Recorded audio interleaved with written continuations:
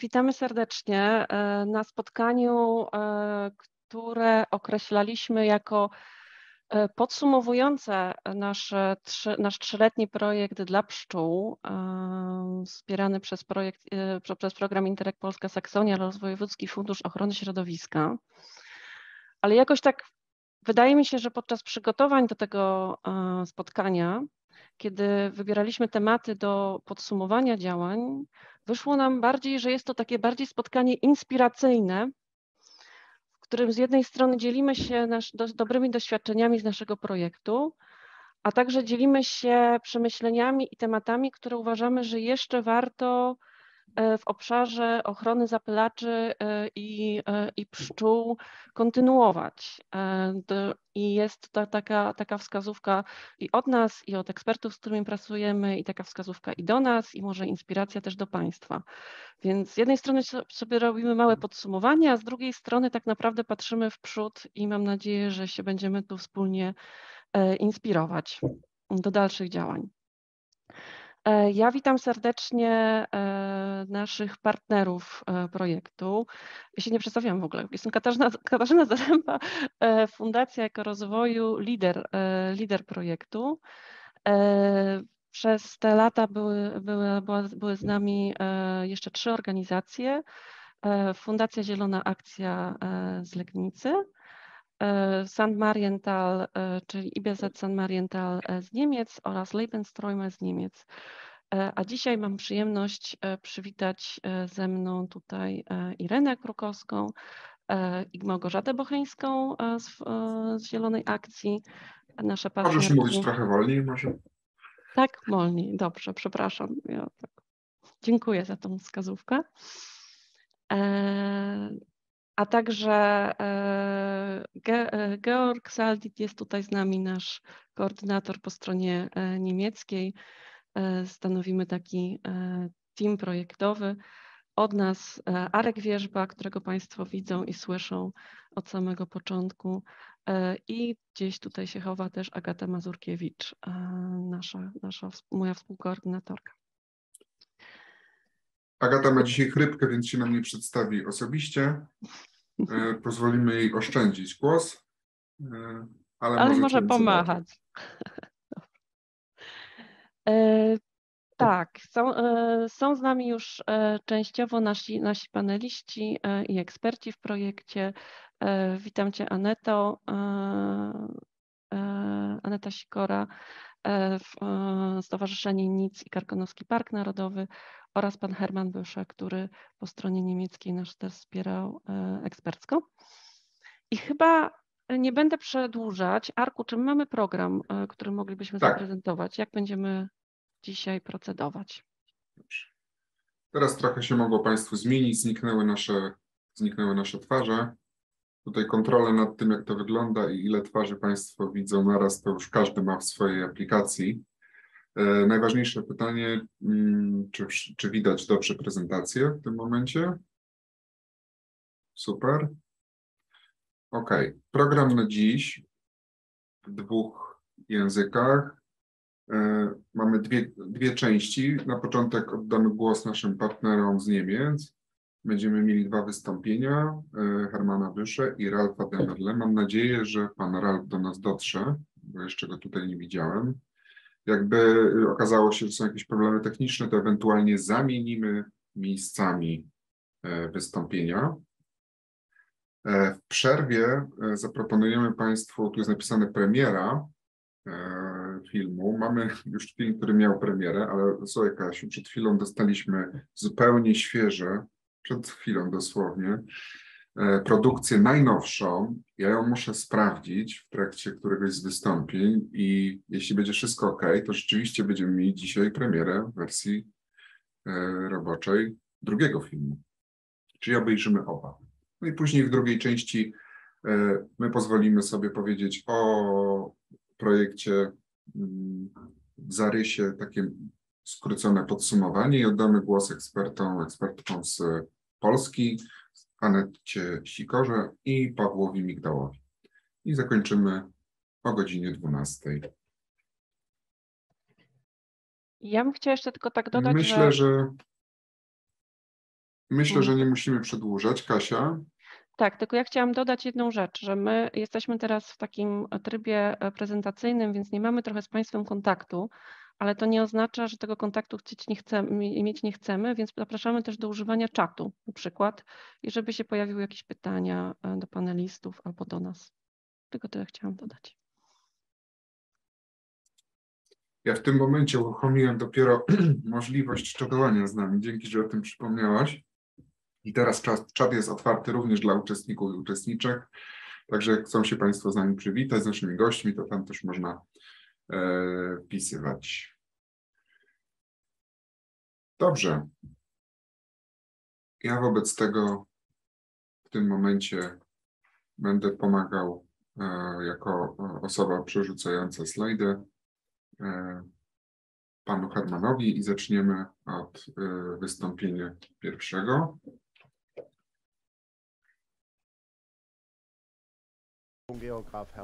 Dzień dobry Państwu. Nazywam się Herman Bysze. Jestem dyplomowanym geografem i chciałbym dziś opowiedzieć o pielęgnacji poboczy i terenów zielonych w Bambergu. Jest to projekt rozpoczęty 24 lata temu w naszym Wydziale do Spraw Środowiska wspólnie z innymi departamentami na przykład zarządem cmentarzy, y, zarządem zieleni miejskiej, Wydziałem do Spraw Budownictwa, mm, ponieważ on też jest częściowo odpowiedzialny za pielęgnację poboczy dróg. Pobocza dróg. Głównie na nich się skupię.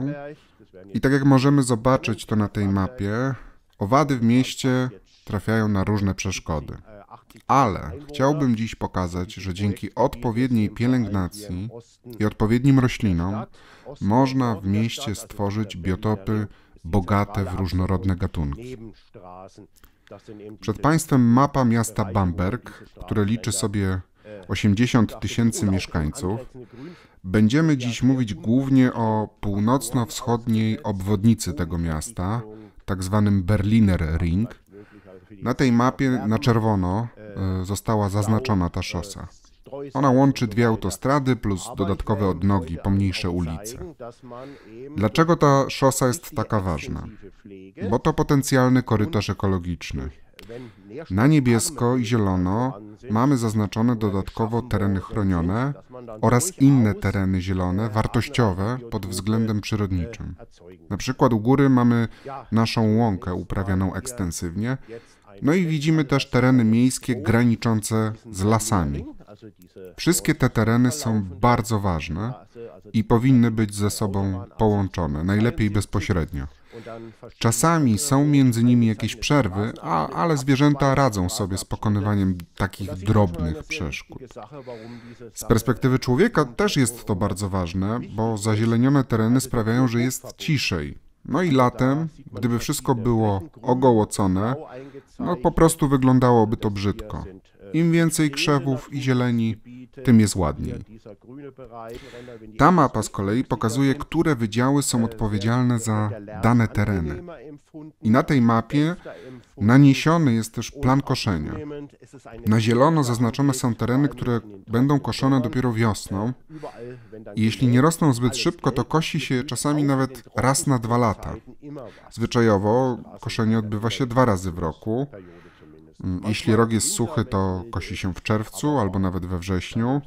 Generalnie jednym z tych momentów jest koniec lata.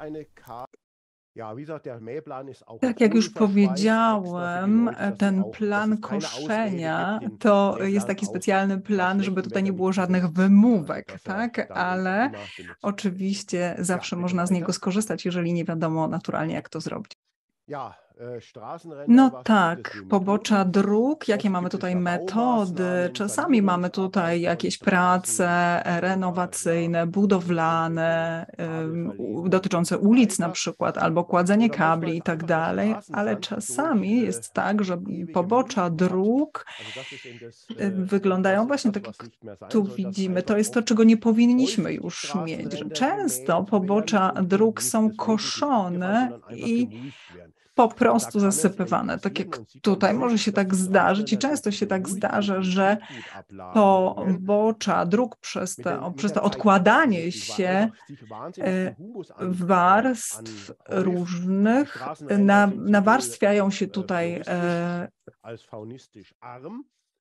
takie mm, odkłady i one są po prostu ubogie, jak chodzi o rośliny, o kwiaty i tak dalej. To są takie przypadki, że tak powiem, normalne, jak chodzi o pobocza dróg. A jeśli, jak mam to powiedzieć, przeprowadza się tutaj taką renowację, czy takie uzdrawianie, to usuwa się e, te warstwy aż do takiego momentu, do takiej warstwy, która jest bogata e, w mm, substancje, na przykład humus i na przykład u nas w Bambergu przede wszystkim to jest niestety niestety piach i czasami jest to glina, która jest oczywiście też uboga w substancje odżywcze. Jeżeli tak nie jest, no to mamy trochę lepszą sytuację. E, czasami trzeba też tutaj dosypać innych warstw. Mamy takie tereny pionierskie, jak to widać, i to jest też oczywiście bardzo różnie, ponieważ u nas nie musimy e, u nas na przykład nic robić, bo wegetacja jakby sama się rozwija rozwija. Oczywiście zwierzęta wtedy też się pojawiają jakby same z siebie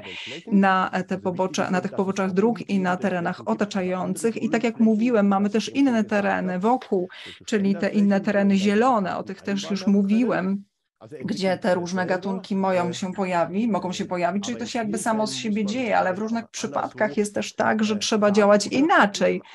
Trzeba e, tutaj działać, e, na przykład wysiewać coś, ale to nie jest takie coś po prostu, e, to nie, jest, nie, nie są takie nasiona, które mogłyby przygotować, spowodować nam problemy, czyli na przykład jakieś rośliny, które nie należą do naszej naszego, e, naszej strefy geograficznej, klimatycznej, tylko konkretnie wybrane. Mamy też e, takie instytucje, gdzie można się z nimi skontaktować, żeby to były rzeczywiście rodzime gatunki. Jeżeli robimy to sami, no to oczywiście można szukać gdzieś w okolicy takich roślin, które są, następną, następny slajd poproszę, które są rodzime. Następny slajd poproszę. I tak się to dzieje, tak one się rozwijają, te pobocza dróg. Widzimy, że tutaj mamy bardzo wiele kolorów, widzimy wiele bardzo różnych gatunków.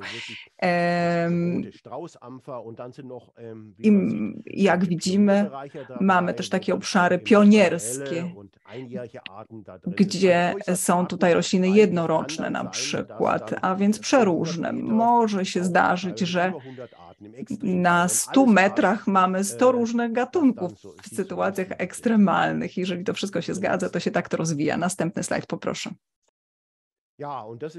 No tak, tutaj to jest taki wał ochronny, jak chodzi o hałas, już tak to dzisiaj nie wygląda. E, wszystko jest odnowione. E, przy tych wałach ochronnych to nie jest tak, że tutaj po prostu został narzucony jakikolwiek materiał, jakikolwiek warstwy, tylko gruba warstwa piasku. To jest też interesujące, to co tutaj widzimy dla dzikich pszczół, e, też parę piaskowców tutaj tutaj e, się znalazło i tak to, e, to widzimy po lewej stronie, a rozwinęło się to do, takiego, do takiej formy, jak widzimy to po prawej stronie. Bardzo ciekawy biotop. To całkiem dobrze już tak dzisiaj niestety nie wygląda, ponieważ e, mamy tutaj też ekspansywne rośliny, tak one się tutaj znalazły takie niedawno wprowadzone do uprawy i trzeba było tutaj celowo zadziałać, podjąć pewne działania. Oczywiście jest to troszeczkę otwarte, zostawiliśmy to troszeczkę w sposób otwarty, tak żeby było wiele tych gatunków, ale jednak musieliśmy tutaj zadziałać. Proszę dalszy slajd. E, Dobrze, e, dziękuję. Tutaj bardzo ważna jest też taka praca PR-owa, żeby też pokazać, że to nie jest tak, że to po prostu my e, nie dbamy o to, nie kosimy, tylko że tutaj jest pewna koncepcja, która za tym stoi. Tak właśnie jest od roku 1999 E, tak się też troszkę wcześniej działo, ale to nie było planowe, że tak powiem, ale od roku 1999 9 robimy to rzeczywiście e, rozmawiając ze sobą, negocjując, mamy te plany koszenia, jak to powinno wyglądać. A więc jeżeli mamy taką okazję, jak na przykład fundacja e, dbająca o naturę, jedna z niemieckich fundacji właśnie coś takiego tutaj e, zaproponowała, że mamy, nie wiem, lato, kwitną kwiaty. Jest to taka okazja, żeby pokazać to w gazecie, jak to wygląda, dlaczego tak jest. Następny slajd, poproszę. Jak wygląda ten rozwój, czy jak on wyglądał, ten rozwój? Najpierw rozwój ilościowy na poboczach dróg. Widzimy tutaj od 320 gatunków do 472. W tym roku jeszcze jeden doszedł nam gatunek, a więc aktualne dane to 473. Przybyła nam liczba gatunków. Na początku widzimy bardzo silny rozwój, a na końcu tej osi powoli ten wzrost następuje, ale jednak e, jest. Oczywiście nie jest tak, że ja każdy gatunek co roku widzę, ale bo niektóre na przykład w jakimś roku się nie pojawiają, ale na przykład za chwilę znowu się pojawiają, albo pokazują się za rok, za dwa na tym samym miejscu, albo niedaleko, ale są rzeczywiście mm, e, dosyć stałe te liczby. Prawie wszystkie te gatunki można też prawie co roku, jak mówię, rozpoznać czy zauważyć. I to jest ten rozwój ilościowy.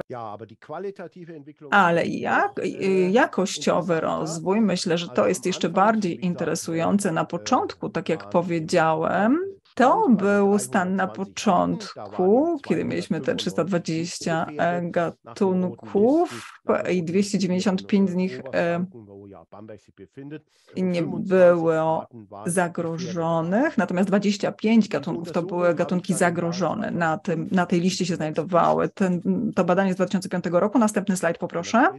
2005 to jest ten rok, kiedy ponownie zrobiłem to badanie i wtedy z tych, z całej liczby tych gatunków 44 były zagrożone, a więc widzimy nie tylko liczba gatunków wzrasta, ale też liczba zagrożonych gatunków e, podwoiła się praktycznie do tych 44. W międzyczasie to już jest, myślę, około 60, dokładnie tak jak przy tym wzroście ilościowym, też wzrost ilościowy następuje. To już nie jest tak silny wzrost jak na początku tej liczby, ale ja odkrywam wciąż nowe, rzadkie gatunki, które kwitną. To jest właściwie to najważniejsze, e, że te, też te zagrożone gatunki, te rzadkie gatunki też kwitną. Proszę o następny slajd. Ten projekt to e, tak, Zieleń w mieście, taki projekt. E, staliśmy się projektem miesiąca. E, to osoby odpowiedzialne za ten projekt e, tutaj w ratuszu w Bambergu się pojawiły i zostały przedstawione i cały projekt został przedstawiony. Następny slajd poproszę. Jak chodzi o pielęgnację, dbanie o pobocze dróg, to jest bardzo ważne. Oczywiście mamy bardzo dużo instrumentów, bardzo dużo narzędzi koszących, ale oczywiście jest cała masa narzędzi, których nie powinniśmy stosować ze względu na owady.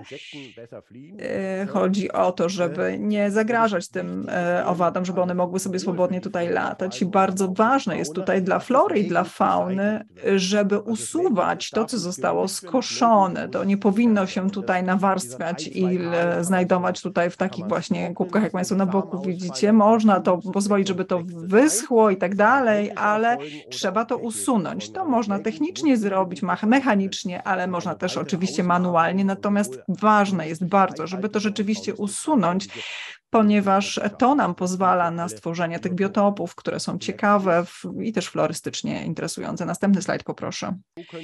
Tak mogą te pobocza dróg w idealnym przypadku wyglądać i się rozwinąć. Oczywiście za, zawsze zależy to od warunków klimatycznych, które mamy. Przy dużych suszach. To nie jest aż tak kolorowe, ale też parę kolorów. Widzimy. Tutaj widzimy bardzo dużą liczbę gatunków, które naturalnie tutaj rosną. Nie będę szczegółowo szczegółowo omawiać ich. Tutaj widzimy takie aspekty właśnie kolorowe.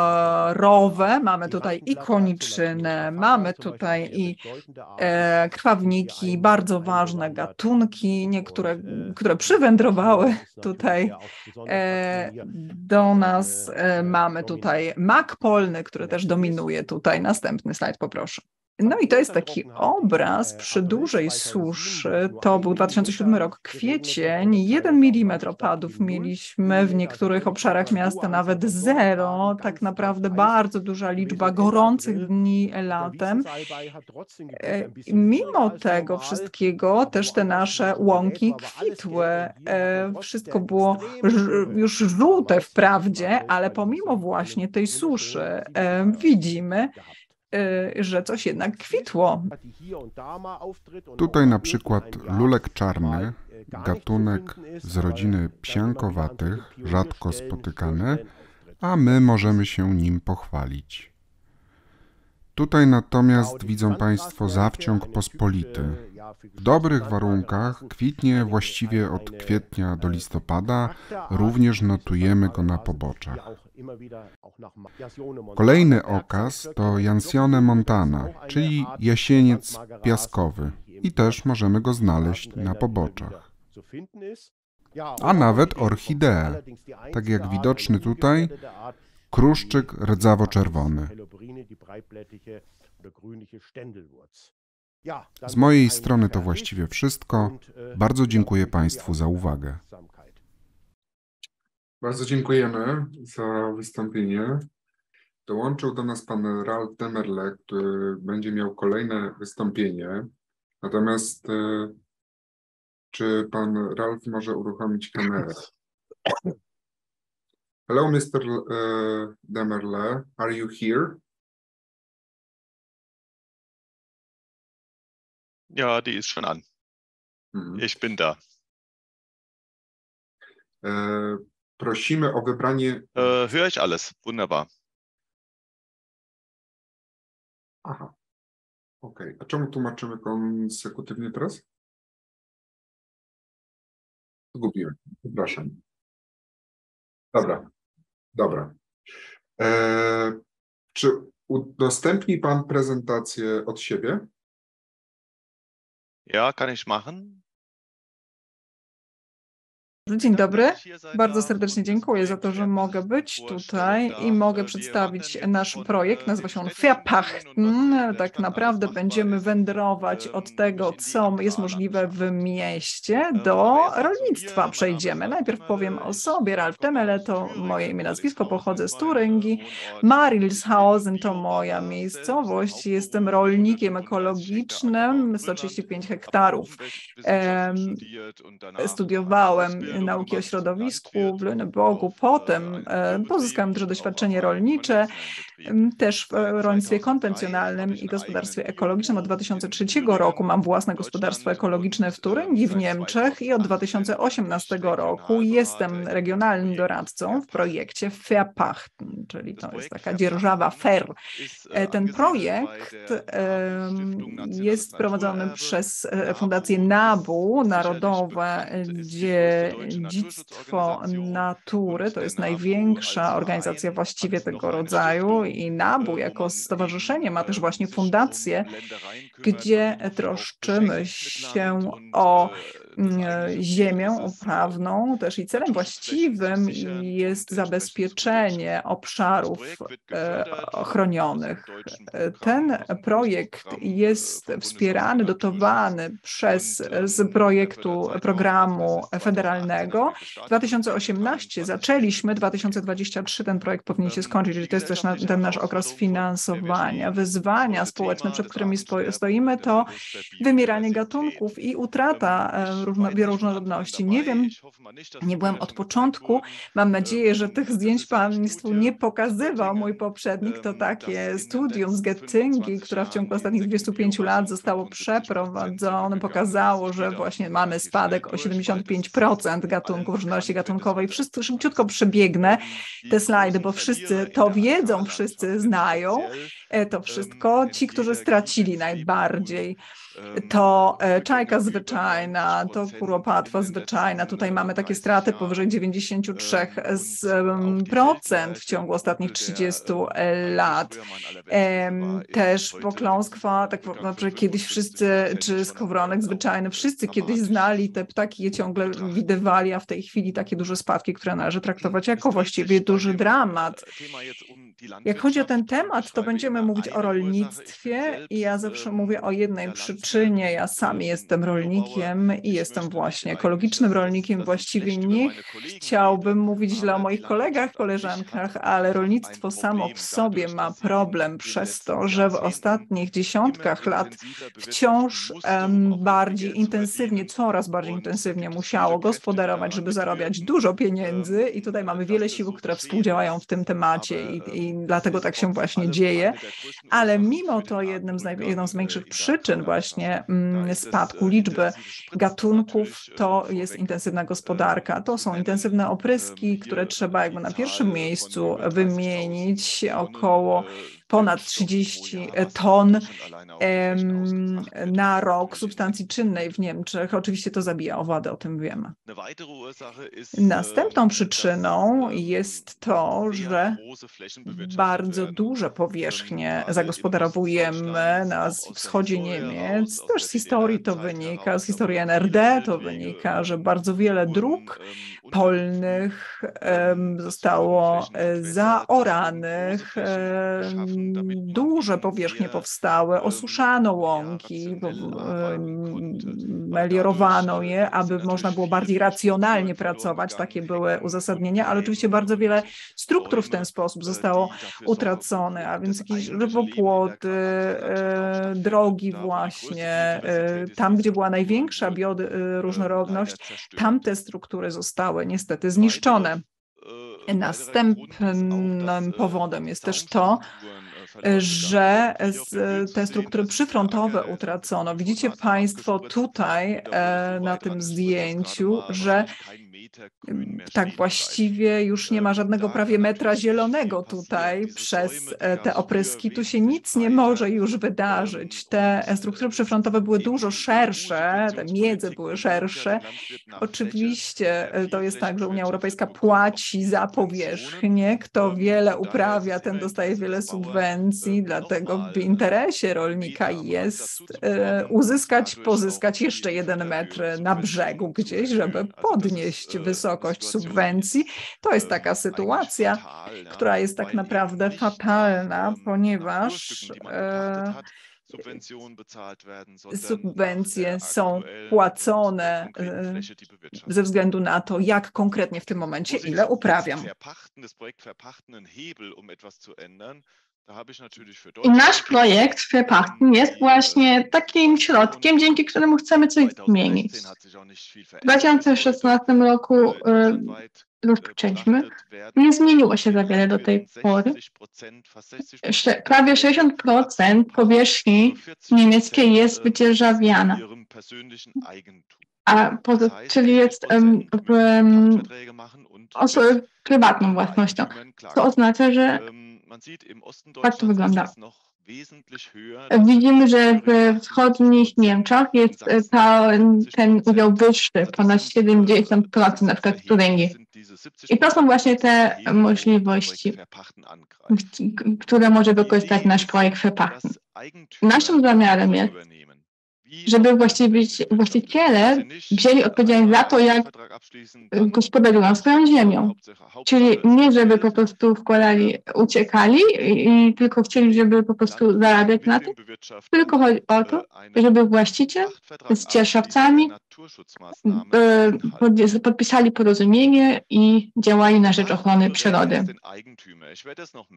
Przepacht nasz projekt doradza właścicielom My nie doradzamy dzierżawcom, tylko właśnie właścicielom ziem. Doradzamy im, jakie są działania w zakresie ochrony przyrody i jakie mają sens na ich terenie. Przedstawię kilka takich środków, takich działań um, ochrony przyrody. U nas jest ich 30 ogólnie. I kilka mam po prostu tutaj do pokazania. Na przykład um, um, miedze wieloletnie. Takie o przynajmniej 6 metrów szerokości. Takie, chodzi o to, żeby tam były też rośliny, które już tam występowały, żeby to były rośliny rodzime.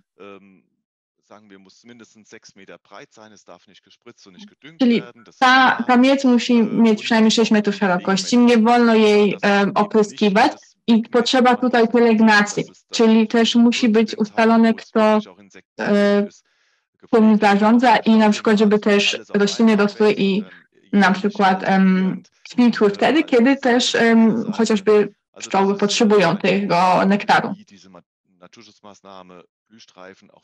Więc to jest bardzo ważne, żeby się zastanowić, jak dobrze zarządzać takimi terenami. Um, płodozmian. Wielogatunkowy płodozmian to bardzo ważny środek ochrony przyrody, który się przyczynia do wzrostu bioróżnorodności. I tylko dzięki dobremu płodozmianowi, który na przykład ma też e, czyli rośliny stączkowe, też będzie on skuteczny. My zawsze e, kom, mamy w kombinacji e, na przykład koniczynę, ale to nie zawsze się sprawdzi, ponieważ są gospodarstwa, które nie mogą potem wykorzystać tej, e, tej skoszonej koniczyny. Kolejna rzecz, żywopłoty.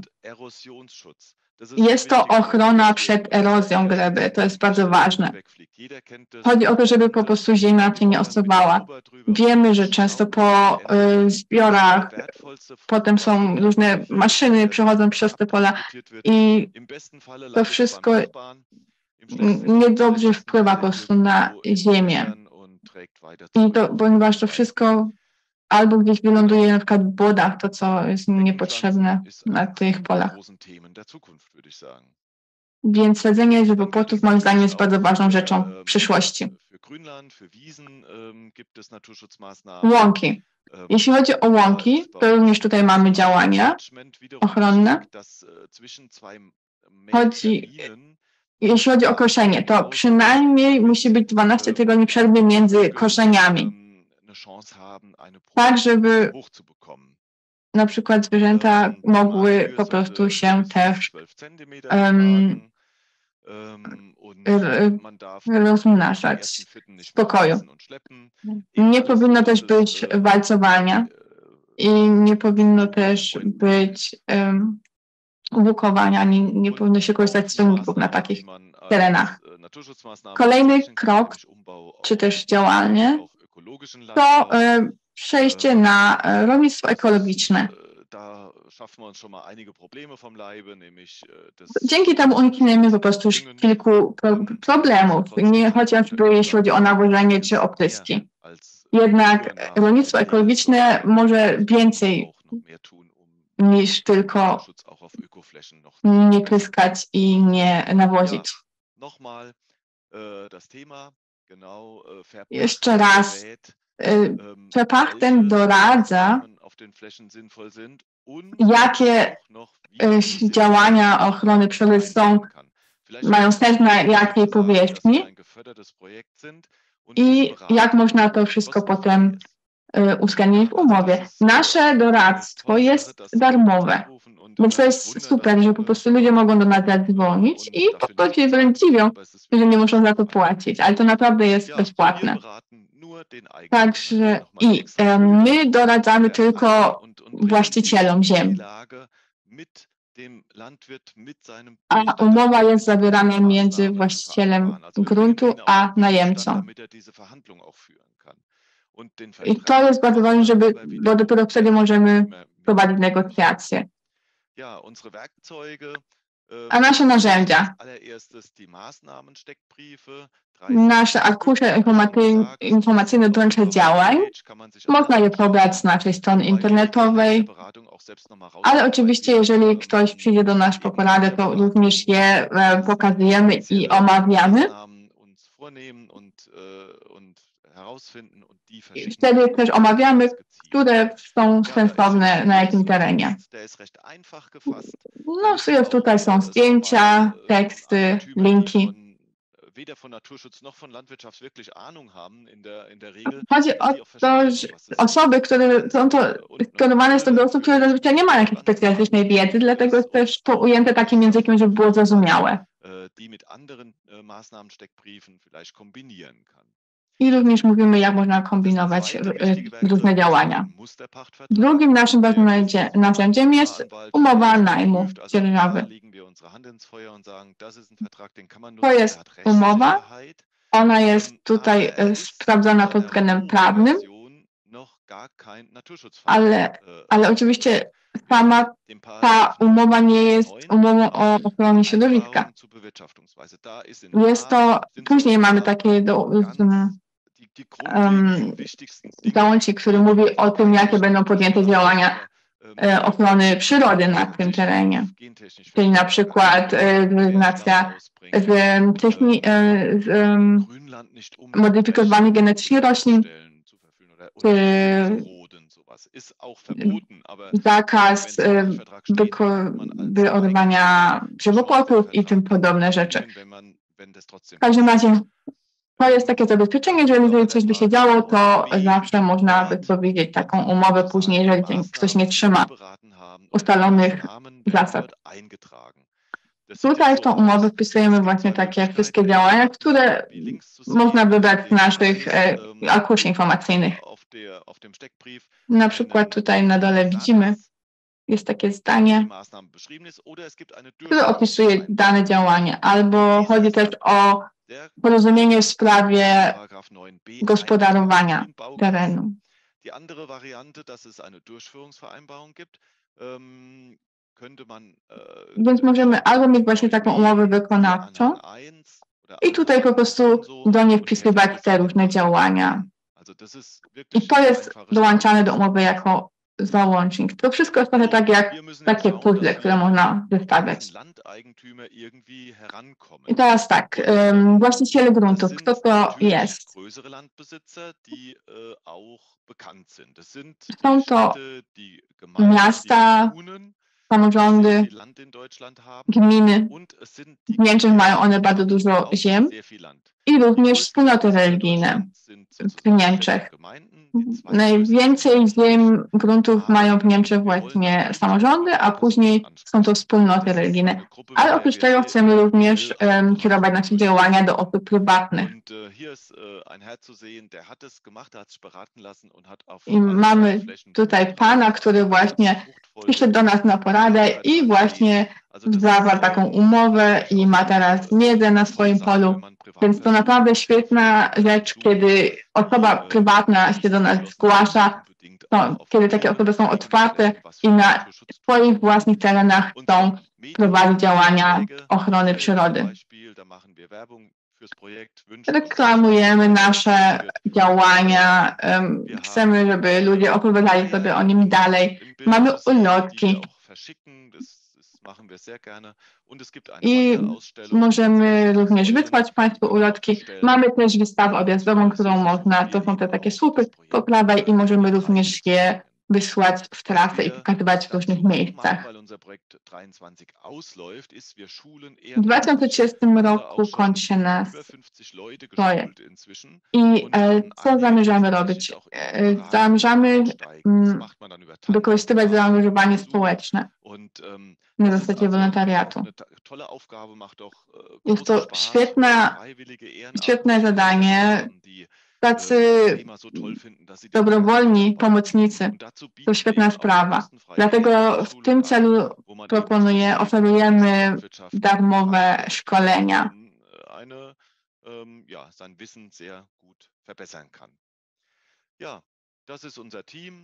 To jest nasz zespół.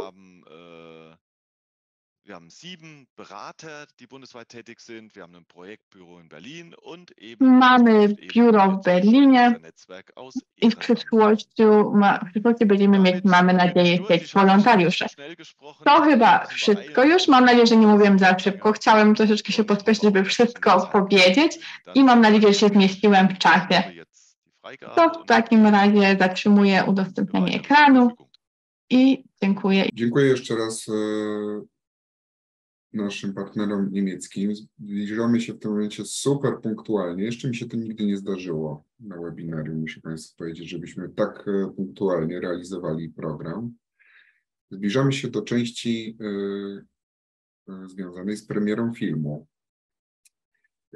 Mamy mm, film, w ramach tego projektu powstały filmy edukacyjne. Pierwszy z nich mamy już przetłumaczony w języku niemieckim z napisami on miał już swoją premierę, ale puścimy y, Państwu również wszystkim, którzy nie mieli okazji go widzieć. Uwaga, ten film może się zacinać, dlatego że będzie to udostępnione wideo i wszystko zależy od mocy Państwa łącza internetowego. Ale ja oprócz tego, gdyby się okazało, że u Państwa to jakoś nie, nie, nie wygląda dobrze, to wkleję link na czacie y, do, do tego filmu, a zaraz po nim zapowiedziana wersja robocza filmu drugiego, która jest już tylko po polsku, ale ponieważ jest to animacja, to być może sprawi y, również radość naszym niemieckojęzycznym gościom.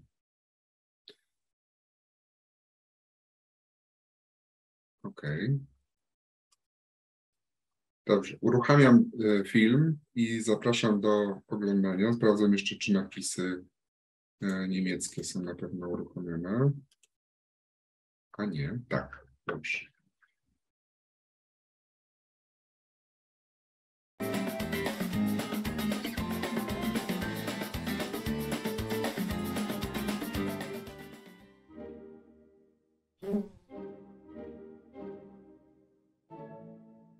Oto rodzina zapylaczy, która zapyla do nowego domu.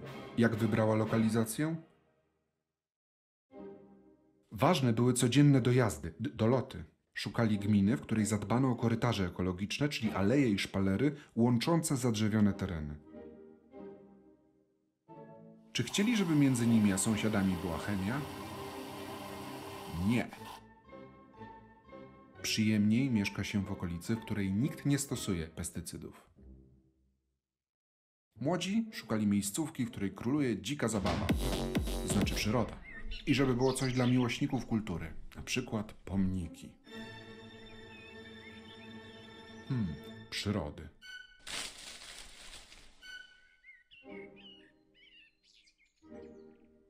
Restauracje miały być blisko, bo pszczoły najchętniej stołują się do 200 metrów od gniazda, a jedzenie musi być dostępne przez cały sezon, bo braki pokarmu hamują rozwój zapylaczy i mogą doprowadzić do ich wyginięcia. Lokalne władze powinny więc dbać, by rośliny były zróżnicowane i dopasowane do gustów bzyczących mieszkańców. Łąki są konieczne, z roślinami jednorocznymi, dwuletnimi, z bylinami, żeby pięknie i przytulnie było jak najdłużej. Ta rodzina znalazła gminę, w której pomyślano o potrzebach zapylaczy. Słusznie, to cenni mieszkańcy. Nie śmiecą, nie hałasują, a dzięki ich pracy mamy owoce, warzywa, no i czasem trochę miodu.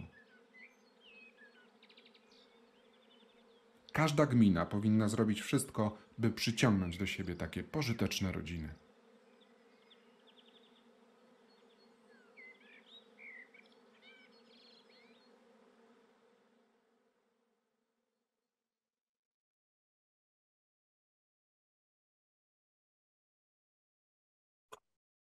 Na moim drugim komputerze troszeczkę się to cięło, ale wkleiłem już Państwu link również na czacie.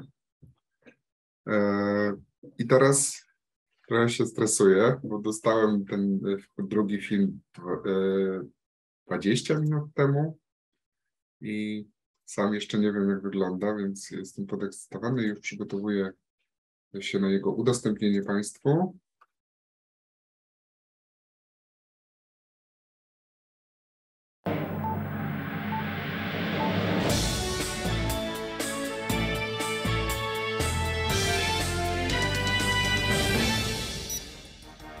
Że za produkcję jedzenia dla całej ludzkości odpowiada jedna niepozorna rodzina pszczołowaci. Udało nam się zdobyć opisy przedstawicieli tej wpływowej familii. Najbardziej pospolity jest szmiel ziemny. Tak, to też pszczołowaty. Często kręci się w szklarniach z pomidorami. Podobno mu się to opyla. Jego kuzyn trzmiel ogrodowy. Tak się uwija, że lata z wyciągniętym języczkiem, a może pokazuje go tym, którzy mylą trzmiele z bąkami. Kolejny trzmiel? Nie, to porobnica włochatka. Zawisa przy kwiatach jak motyl i podobno śni o tym, że jest kolibrem. Co robi murarka ogrodowa? Przesiaduje w murach, a w czasie godzin pracy zapyla tak efektywnie, że pszczoły miodne bije na głowę. Miesierka różówka woli zaszyć się w domu. I to dosłownie. Widziano ją, jak wycina kawałki liści róży i zszywa je w gniazdo. A to spójnica krwawnicowa, prawdziwa specjalistka w swojej wąskiej dziedzinie. Interesują ją tylko krwawnice pospolite. Tu mamy kogoś od innych zachowań. Makatka zbójnica bez przerwy myśli o bzykaniu, takim niedosłownym. Wypada pogratulować wytrwałości. Z kolei lepiarka wiosenna najbardziej ceni swoje własne towarzystwo. Ale ma skłonność do tworzenia skupisk, jak single w dużym mieście. A pszczolinka to kobieta z klasą. Gdy wybiera się po pyłek, zawsze wraca w czerwonych spodniach. Interesuje ją tylko czerwony pyłek świeżbnicy. Obrostka letnia nie rusza się z domu bez szczoteczek, na których przynosi pyłek. W rodzinie pszczołowatych nie ma zgody co do najlepszego sposobu transportu. Każdy robi to po swojemu. Łączy ich wspólny cel produkcja żywności. Pszczołowate są odpowiedzialne za powstanie dwóch trzecich roślin, które jemy. Całkiem nieźle jak na jedną rodzinę, prawda?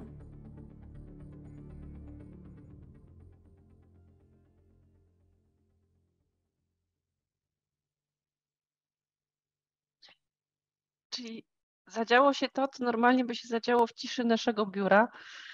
To znaczy, pierwszy raz wszyscy obejrzeliśmy ten film w gronie państwa. Bardzo się cieszymy. Teraz już nie ma odwrotu.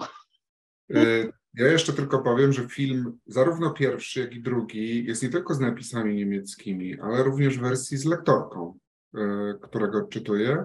I ja może, y, jak będzie już prezentacja Kasi, to jeszcze wrzucę nie, nie wrzucę. Nie wrzucę, bo jeszcze nie jest, go, nie jest, go, nie jest gotowy do, do wrzucenia, ale prześlemy Państwu linki do obu filmów, również w wersji z lektorem niemieckojęzycznym. Dobrze. Jest godzina 10.58. Zastanawiam się, czy nie byłoby dobrze dla zdrowia e, naszych oczu e, i naszych układów nerwowych, abyśmy popatrzyli w dal, E, i przez chwilę nie patrzyli na ekran i spotkali się tutaj o godzinie 11.05. Co ty na to, Kasia? Tak, oczywiście. Możemy tak, możemy tak zrobić. Zapraszamy do oddechu na chwilę. Dobrze, dzień dobry. Witamy, witamy po przerwie. E, ja może zanim e, przejdę do e, naszej prezentacji i, kilku słów o projekcie, chciałabym się zaopiekować tutaj pytaniami, które Państwo zadają na czacie. I tak, może czy mogłam prosić Panie tłumaczki o przetłumaczenie na niemiecki mm, pytania, które zaraz odczytam? Może po naszej prezentacji, wrzucam to w eter dla naszych ekspertów po stronie polskiej i niemieckiej. Po naszej prezentacji będzie czas na odpowiedź. Jeśli, kto, jeśli Państwo mają jeszcze jakieś pytania, to też zapraszamy do tej formy. Ja czytam na razie pytanie, które mamy. E, pani Monika e, pyta, mnie bardzo interesuje budowanie ścian glinianych dla, dla dzikich pszczół to jest porobnica wiosenna. Czy w Niemczech też tworzycie miejsca dla dzikich pszczół? Jeśli tak, to z czym mieszacie glinę, aby glina była na tyle miękka, co przyczyni się do szybkiego e, zamieszkania? Próbuję na własną rękę tworzyć różne mieszanki gliny i innych surowców, aby glina była miękka dla porobnic. Czy mamy jakieś e, porady e, tutaj z zakresu, z zakresu tworzenia, tworzenia miejsc do gniazdowania? I tutaj dziękujemy też za komentarz do filmu e, od pani Kamili, e, że faktycznie warto może dodać, e, o jaką, pszczolin, jaką pszczolinkę mamy na myśli. A my przejdziemy w tym czasie do słów kilka o projekcie. Arku, ty mi udostępnisz prezentację? Chcesz, żebym zmienił, tak? Tak, Będzie... jeśli możesz. Dobrze, dobrze. Mm. Już, już się do tego szykuję. To możemy powoli, e, powoli, powoli zacznę mówić. E, nasz projekt, e, nasz projekt rozpoczął się już tak dawno temu, że nie pamiętam praktycznie kiedy. Bardzo dziękuję, w ogóle chciałam też powiedzieć, że bardzo dziękuję naszym niemieckim kolegom za, za, za prezentację. Tak naprawdę myślę, że jest bardzo inspirujące też, też dla mnie i podsuwa nam inne pomysły, różne pomysły na działania dalej. I w sumie ten projekt tak trochę wyglądał i się tak zaczynał, że zaczynaliśmy w 2018 e, od pomysłu e, Georga Zaldita e, tutaj obecnego, że faktycznie warto zająć się tym, tym tematem zapylaczy na obszarze pogranicza. I wychodziliśmy z jakiegoś założenia minimal, minimalnego, a ten projekt się rozrastał i rozrastał z czasem i e, przychodziły nam nowe pomysły do głowy, nowi partnerzy się pojawiali, więc jakby jesteśmy w zupełnie innym miejscu, myślę, niż e, ten, co planowaliśmy być to raz, z czego, z czego się bardzo cieszymy.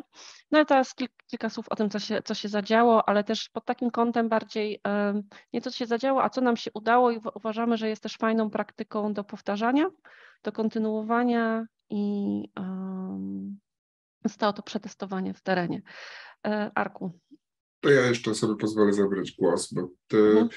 projekt nosi tytuł Dla pszczół i oczywiście mistrzynią PR-u jest pszczoła miodna. A tutaj Państwo widzą na zdjęciu porodnicę włochatkę, którą mamy też na, w różnych naszych materiałach e, i jest to jeden z dzikich zapylaczy, dzika, dzika pszczoła. I można powiedzieć, że to one są tak naprawdę głównymi e, bohaterkami, bo pszczoła, reklam, pszczoła miodna już tak bardzo reklamy nie potrzebuje, a od, od dzikich zapylaczy e, e, w sposób ogromny zależy zachowanie bioróżnorodności. O jeszcze o tym, co się kryje pod tym terminem, to się, to się pojawi w prezentacji Anety Sikory. Widziałem, że jest tam plansza z całym kalejdoskopem e, zapylaczy, e, który, który występuje w naszym kraju. Tylko jeszcze dodam, że to nie znaczy, że zapominamy całkowicie o pszczole miodnej, ponieważ w tym projekcie również zrozumieliśmy, że gospodarka pasieczna, prowadzenie uli również może być prowadzone w taki sposób, który wspiera bioróżnorodność. Dlatego mamy też taki komponent i dzisiaj Paweł Migdał będzie mówił nam właśnie z tego obszaru E, pszczelarskiego o odpowiedzialnym pszczelarstwie miejskim. Kasiu, co my właściwie robimy dla tych zapylaczy? Co my właściwie robimy? Możesz przeklikiwać tak szybciej. Ja zapraszam też e, tutaj Irenę Krukowską i Gosię i Georga. Gdyby chcieli coś dodać od siebie w tym, w tym, podczas tej prezentacji, to po prostu skakujcie mi w słowo. E, Ireno, czy ty chcesz powiedzieć coś na początek? Możesz dalej, Arku, już. Już. Już. E, dodam tylko, że e, mm, dzięki inicjatywie Georga rozpoczęliśmy pracę w 2017 roku, czyli to było bardzo, bardzo dawno temu. E, I potem, biorąc pod uwagę propozycje strony niemieckiej i nasze, wspólnie z Moniką Onyszkiewicz próbowałyśmy z tego stworzyć projekt, co było niezwykle trudne, bo projekty w Interregu tworzy się mozolnie, i nie zawsze można wszystko przewidzieć, ale y, y, działania rozpoczęły się w 2019 roku i no, dotarliśmy do końca, ale to jakby nie koniec, tylko dalsza kontynuacja. Już zacząłem wyświetlać tak. i mogą Państwo zobaczyć te działania. Pierwszym można być takim koronnym E, były nasadzenia, nasadzenia drzew po, zarówno po stronie polskiej, jak i po stronie niemieckiej, ale też tworzenie pasieczysk, pastwisk dla e, zapylaczy, zwanych również strefami nektarodejnymi, również po obu e, stronach granicy. Na bieżąco uzupełniamy mapę tych tworzonych obszarów. Jest ona dostępna na naszej stronie dla pszczół. Jeszcze z tego sezonu nie zostały wprowadzone e, nasze lokalizacje e, nowe, zarówno nasadzeń, jak i, jak i innych elementów, o których tutaj będzie mowa. To, co warto podkreślić, że ta lista gmin, które włączyły się do tego projektu aktywnie, tworząc e, tego rodzaju obszary albo uruchamiając, czy współtworząc, współorganizując z nami wydarzenia edukacyjne, też się rozrastała. I już w tym momencie wyglądam chyba w ten sposób. Mam nadzieję, że nikogo nie pominęliśmy, Kasia. Jeśli tak, to proszę nam szybko zwrócić uwagę. W praktyce to oznacza, że trochę siedzieliśmy też w terenie, nie tylko tak jak teraz na Zoomie, pracując nad, nad, nad tworzeniem tych obszarów, ale też sprawdzając, jak one się mają. Zazwyczaj do tych obszarów też dochodziły elementy, które wskazywały, dlaczego my to robimy i co na tych obszarach się znajduje. Tutaj akurat przykład tablicy przy jednej z łąk w Saksonii z razem, razem z naszymi partnerami projektowymi. Tutaj jeszcze był dodatkowy taki ciekawy element badania e, tego, w jaki sposób e, o zapylacze można dbać, e, pielęgnując sady, stare sady. I to było też część realizowania po stronie niemieckiej. Mamy z tego, z tego zakresu wnioski wypisane i przetłumaczone na język, na język polski, na język niemiecki. Mhm. mhm to, co teraz jest bardzo modne, jeszcze zanim było modne, intensywnie promowaliśmy domki dla owadów, czyli pomoce gniazdowe różnego rodzaju, jak Państwo widzą, które też uzupełniają te miejsca, czy to sady, czy to, czy to miejsca, strefy nektarodajne. Znalazło się też miejsce dla pszczoły miodnej. Uruchomiliśmy jeden ul, przepraszam, jedną pasiekę składającą się z czterech uli, E, w Jeleniej Górze. Mm, to jest taka pasieka edukacyjna, w której, e, z której, która nie jest nastawiona na masową produkcję miodu, a bardziej na to, żeby pokazywać, że z pszczołami można się dogadać i współistnieć w przestrzeni miejskiej. Tak samo jak współistnieć w przestrzeni miejskiej mogą rabaty. Prosta rzecz, która może się pojawić obok szkoły i być również stołówką dla zapylaczy. Szkoły mają e, dostęp do terenów, które które można z powodzeniem przekształcić e, w takie obszary i jednocześnie również traktować je jako e, miejsce do edukacji, aktywnej edukacji przyrodniczej. Tutaj Zielona Akcja e, przez ostatni, ostatni sezon tworzyła, tworzyła takie nasadzenia wspólnie, wspólnie z młodzieżą w szkołach prowadziła działania edukacyjne, tak, lekcje, lekcje przy, przy tych rabatach. E, edukacja to jest ten dział w tym projekcie, który rozrósł się nam najbardziej, bo od początkowej, e, początkowego założenia, że będziemy pracować z ekspertami, którzy będą między sobą wymieniać się, e, wymieniać się rekomendacjami, rozwiązaniami, inspiracjami, wyszliśmy też z tym bardzo szeroko. Robiliśmy wydarzenia edukacyjne nie tylko dla e, ekspertów, nie tylko dla pszczelarzy, ale też właśnie dla mieszkańców, dla urzędników, dla nauczycieli. Bardzo e, szerokie grono. E, tych, wśród tych wydarzeń były też takie od, wydarzenia otwarte, nazywaliśmy je pszczelimi piknikami. Program takich pszczelich pikników zmieniał się w zależności od też pory roku i tego, co mieliśmy w tym momencie dostępnego z materiałów. E, były to domki dla owadów, były również kule nasienne i inne atrakcyjne dla, zwłaszcza dla rodzin z dziećmi, elementy. Spotykaliśmy się, nie tylko pracowaliśmy w terenie łopatą, nie tylko zasiewaliśmy, ale też e, znaleźliśmy e, czas w tym projekcie, aby e, pszczelarze, tutaj akurat zdjęcie z całkiem niedawno z okolic Ostric i Marientalu, bo to właśnie do Marienta, Marientalu spotkali się polscy i niemieccy pszczelarze, by mm, rozmawiać o tym, jak prowadzić zrównoważoną gospodarkę pasieczną. Jest Georg, który z rozmachem prezentuje nam e, co, to, co kryje w sobie Marienthal, wspaniały klasztor e, w uroczym zakątku Łużyc. Polecamy odwiedziny, niezależnie od pszczół i zapylaczy.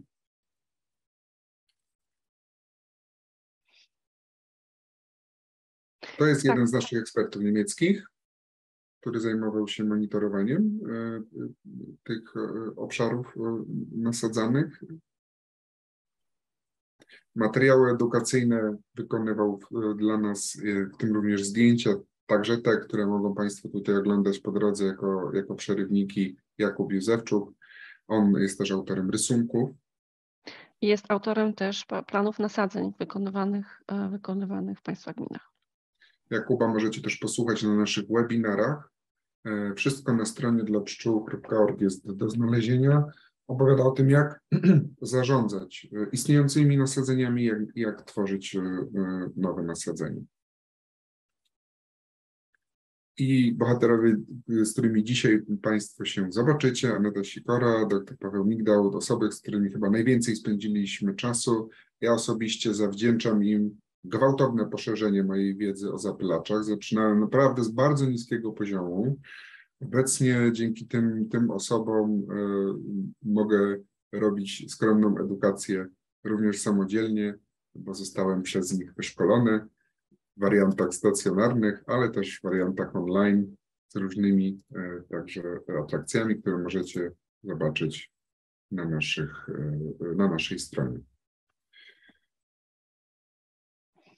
Wystawa. Wystawę, wyprodukowaliśmy wystawę informacyjną, która podróżowała po, po, stronie, po stronie polskiej, po stronie niemieckiej. Te plansze są dostępne, ta wystawa jest dostępna. My chętnie udostępnimy te plansze e, i zarówno w wersji fizycznej do dalszego, żeby dalej podróżowały po, zarówno po stronie niemieckiej, jak i polskiej, ale także do, do, do własnego wydrukowania e, i wykorzystywania e, dalej w edukacji. Mm, mm, tak, e, wokół tych e, wystaw robiliśmy małe wydarzenia medialne i edukacyjne. E, ta wystawa również funkcjonuje w formie infografii, które są do pobrania na stronie wspomnianej. Podobnie jak filmy, o tym już mówiłem, więc nie będę już tutaj przedłużał. Warto też dodać, że tam znajdują się publikacje. Dwujęzyczne publikacje to są rekomendacje dla gmin, wskazówki e, dla mieszkańców, ale także scenariusze zajęć edukacyjnych. My je wydrukowaliśmy e, także w wersji papierowej i uczestnicy naszych zajęć dla edukatorów je otrzymali, ale wersje elektronicznej są do pobrania. Mhm. Najważniejszy produkt nasz E, zbierający dużo doświadczeń i chcemy tak naprawdę, żeby pracował dalej, to rekomendacje. Gosiu, czy ty byś chciała dwa słowa powiedzieć i pochwalić się swoim dziełem? Tak, Małgorzata Buchyńska, y, jestem koordynatorem ze strony Fundacji Ekologicznej Zielona Akcja i mm, miałam przyjemność współpracować y, no, z dziesięcioma gminami, E, w ramach projektu utworzyliśmy właśnie wspólnie przede wszystkim nasadzenia dla owadów e, zapylających. To były nasadzenia mm, między innymi e, nasadzenia drzew takich jak lipy, to było w trzech miejscach, takie jak nasadzenia drzew owocowych. Tutaj one się cieszyły największym zainteresowaniem, to aż sześć gmin chciało sadzić drzewa owocowe, a w jednej mm, gminie posadziliśmy e, takie nasadzenia wielogatunkowe. E, w każdym bądź razie finałem działań w projekcie są właśnie e, rekomendacje dla gmin, dostępne zarówno na stronie dla pszczół.org, jak i w wersji drukowanej. I jeśli są osoby zainteresowane otrzymaniem tych rekomendacji, to też prosimy napisać na czacie dane do wysyłki. Jak najbardziej taka wysyłka będzie możliwa w wersji papierowej. E, też korzystając jakby z okazji chciałam podziękować gminom, bo widzę tutaj po uczestnikach, że przedstawiciele gmin są tutaj z nami e, i chciałam e, podziękować za zaangażowanie we wspólne realizowane, wspólnie realizowane działania. A przechodząc już do samych rekomendacji, dotyczą one oczywiście ochrony owadów zapylających, E, poprzez tworzenie i zachowanie mm, istniejących siedlisk, e, między innymi poprzez odtwarzanie zadrzewień, poprzez utrzymanie łąk. E, proponujemy też odpowiedni dobór gatunków roślin dla owadów i znajdziecie tam Państwo również szereg innych drobnych działań, które rekomendujemy mm, do wykonania w każdej gminie dzięki czemu każda gmina może stać się taką ostoją dla wielu cennych zapylaczy. Oczywiście rekomendacje nie są skierowane tylko dla gmin, jak najbardziej każda inna osoba zainteresowana znajdzie tam coś dla siebie. E, rekomendacje są efektem pracy wielu ekspertów oraz naszych doświadczeń z realizacji projektu e, i mm, polecamy po to, żeby miejsca, w których y, Państwo takie działania wdrożą, stały się bardziej przyjazne dla owadów y, zapylających. Także Chciałam dziękuję. podkreślić. Dziękuję Gosiu. Te rekomendacje są także y, są w języku polskim i w języku niemieckim. Podobnie jak i strona. Y, jak Państwo wejdziecie, jest w języku polskim, ale jest ikonka flagi niemieckiej i wtedy materiały pojawiają się w języku niemieckim. Mhm. Oczywiście y, Polacy przedłużyli i nie są punktualni. Wszystko idzie zgodnie ze stereotypami. Bardzo przepraszamy. Chciałem już oddać głos Anecie Sikorze, która w tym momencie opowie nam o przyjaznym zapylaczom planowaniu zieleni w gminach. Aneto, czy jesteś z nami? Jestem z nami. Czy mnie słychać? Tak. Super. E, witam Państwa serdecznie. Aneta Sikora. E, jestem tutaj i bardzo mnie to cieszy, że tutaj jestem i zacznę może od tego, że podziękuję Państwu za ten wspaniały program, e, który stworzyliście i który rozwijacie z takim otwartym sercem i umysłem, e, robiąc wspaniałe rzeczy i, i współpracując e, z ludźmi, dla ludzi i dla pszczół. Także na początku takie szapoba dla Państwa za ten program. Dziękuję też za, za zaproszenie tutaj dzisiaj i że mogę powiedzieć o przyjaznym E, zapylaczom planowaniu zieleni w gminach, ale żeby mówić o tym planowaniu, a co ważniejsze w e, wprowadzaniu tych planów w życie, to e, zawsze trzeba się skupić na ludziach. Czyli ja dzisiaj w tej prezentacji chciałabym mm, skupić się na tym wątku społecznym i na ludziach, którzy są zaangażowani, chcemy, żeby byli zaangażowani w takie działania. Poproszę o następny slajd.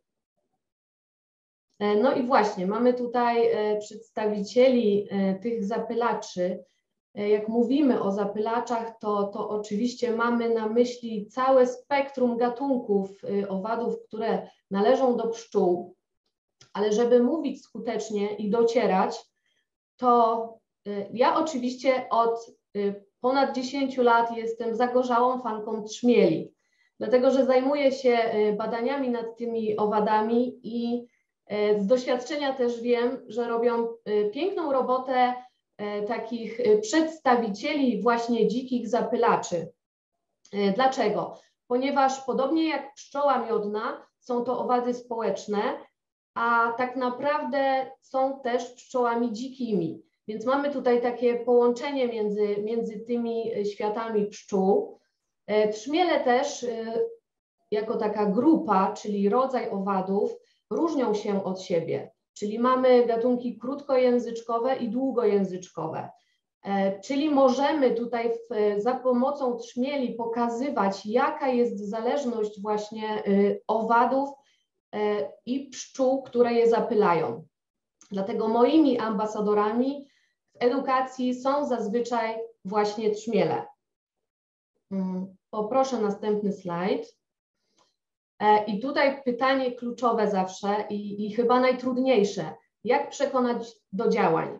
Czyli jak zmotywować do tego, żeby ludzie się zaangażowali w te działania dla pszczół? E, po pierwsze, myślę, że trzeba sprawić, żeby e, każdy z nas sobie uzmysłowił, że ochrona pszczół, ochrona owadów zapylających jest sprawą każdego z nas. Podobnie jak oszczędzanie wody. E, myślę, że y, mamy w głowach coś takiego, taki skrót myślowy, który jest bardzo niebezpieczny, że takim tematem powinni się zająć naukowcy. Że jeśli słyszymy o tym, że mamy wymieranie pszczół, to znaczy, że też są ludzie, naukowcy, osoby, które się na tym znają, którzy zajmą się tym problemem i go rozwiążą. Otóż niestety nie. I w edukacji o pszczołach należy o tym mówić. Europejska Czerwona Lista Pszczół, która jest najbardziej aktualnym, aktualnym dokumentem pokazującym zagrożenia pszczół, doskonale pokazuje, że na temat niemal 60% gatunków pszczół w Europie my nie mamy danych.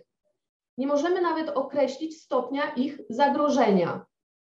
I to jest taki naprawdę realny problem. E, I teraz e, opowiadając o tym e, na, na, warsztatach, ludzie pytają, no dobrze, to ile jest naukowców zajmujących się pszczołami? Więc jak ja mówię, że znam osobiście kilku, kilkunastu, no to daje wrażenie takie, że rzeczywiście, ok, problem jest ogólnopolski, ogólnoświatowy, ale tak naprawdę ile osób się nim zajmuje? I myślę, że to, y, że to w edukacji należy też pokazywać i wykorzystywać, żeby zmotywować ludzi i żeby zauważyli, że to jest sprawa nie tylko naukowców, ale każdego z nas. Poproszę o następny slajd. I teraz kogo możemy zaangażować w takie y, realne działania, żeby pomagać pszczołom? E, jeśli weźmiemy sobie taką przestrzeń jak gmina, to możemy sobie wydzielić takie, mm, myśląc, myśląc o tym, co można by zrobić, możemy sobie wydzielić takie przestrzenie i zastanowić się, kto jest odpowiedzialny za tą przestrzeń. Y, na przykład parki, parki, zieleńce. Wiadomo, że, y, że tym zarządza gmina, tym zarządzają urzędnicy. Jeśli chodzi o e, osiedla mieszkaniowe na przykład, czy prywatne ogródki, no to tutaj y, możemy trafić do, do mieszkańców, do, do właścicieli tych ogródków. Y, jeśli chodzi o y, tereny wokół szkół, no to oczywiście będą to, będą to nauczyciele, y, dyrektorzy takich szkół. Ale bardzo ciekawym też, y, ciekawą przestrzenią w gminach y, moim zdaniem są cmentarze. Podczas swoich badań nad szmielami brałam też pod uwagę właśnie takie stanowiska cmentarzy i zauważyłam, że właściwie to jest tam na takim cmentarzu bardzo dużo życia. W postaci właśnie takich owadów zapylających, które, które szukają sobie e, tam pożywienia. I ze smutkiem czasem patrzyłam, jak, e, jak taki, taki trzmiel podlatuje do sztucznego kwiatka. Także y, uważam, że, że, że, takie przestrzenie też są, y, też są doskonałym miejscem do tego, żeby, y, żeby zapylacze je odwiedzały, żeby to były miejsca chronione, chroniące właśnie owady zapylające. E, I teraz myślę, że w edukacji należy wykorzystywać jeszcze jeden element, jeszcze jeden skrót myślowy, który, który mamy w głowie, zawsze nam się wydaje, że, że musimy robić coś, y, że, że jak jest jakiś problem, to trzeba jakoś konkretnie na niego zareagować. Natomiast tu mamy taką y, sytuację, y, jeśli chodzi o ochronę przyrody, że czasem lepiej robić nic. W tym sensie, że robiąc czasem coś, możemy bardziej, bardziej zaszkodzić. Natomiast zawsze panowie na, na moich warsztatach edukacyjnych są szczęśliwi, jak im mówię, że mogą chronić pszczoły robiąc nic, czyli na przykład ograniczać koszenie na swoich własnych trawnikach, bądź zostawiać kawałek nieskoszonego trawnika. I to już jest, y, już jest jakaś, y, mm, jakaś pomoc dla tych owadów, czyli patrzenie na tą przyrodę y, z tego punktu widzenia statycznego, że ona funkcjonuje w sobie znanym do, dobrze sposobie i nie zawsze my znamy najlepsze rozwiązania, jak możemy pomóc. Czasem najlepiej się e, po prostu spojrzeć na to, zastanowić e, i, i wyciągnąć wnioski na podstawie właśnie, właśnie obserwacji. Czyli dobrym też e, działaniem tak naprawdę proprzyrodniczym jest własna obserwacja, do czego zawsze namawiam. Dobrze, następny slajd poproszę.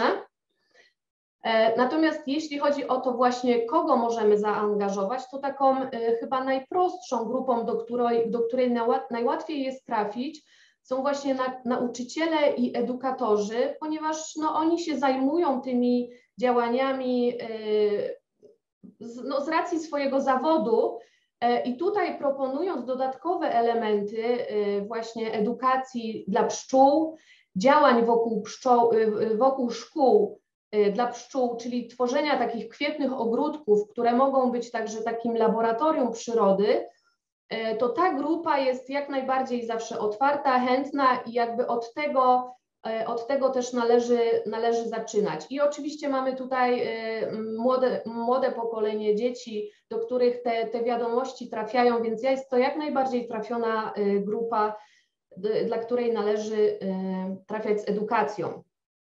Mm, poproszę następ, następny slajd. Urzędnicy. To jest grupa, która zarządza tak naprawdę mm, relatywnie dużym obszarem, przestrzeni gminy e, i uważam, że tutaj też należy do nich trafiać. Co można im zaoferować? Czego, czego oni tak naprawdę y, oczekują? To konkretnej wiedzy, konkretnych rozwiązań, czyli takie rekomendacje y, dla gmin, które y, tutaj mm, Państwo przygotowali w tym projekcie. To jest jak najbardziej doskonałe narzędzie, czego oni potrzebują. E, także takie ugruntowanie prawne Dlaczego oni powinni się w ogóle tym zajmować?